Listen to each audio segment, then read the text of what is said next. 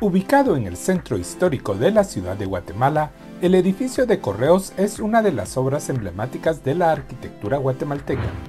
Su construcción duró tres años, desde 1937 hasta 1940, durante la administración del presidente Jorge Ubico. La característica principal de este edificio es su arco, el cual cruza la 12 calle y fue inspirado en el arco de Santa Catalina de la ciudad de Antigua Guatemala.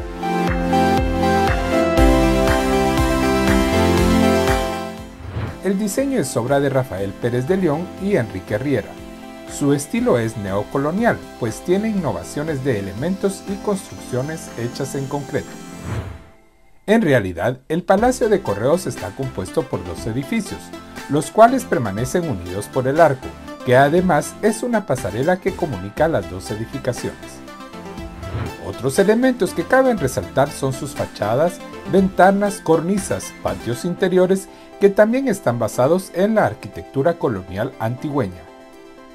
En 1981 fue declarado Monumento Nacional y en 1998 se incluyó en el listado de inmuebles considerados como Patrimonio Cultural de la Nación. Actualmente alberga cinco escuelas de arte municipales, además de servicios de correos.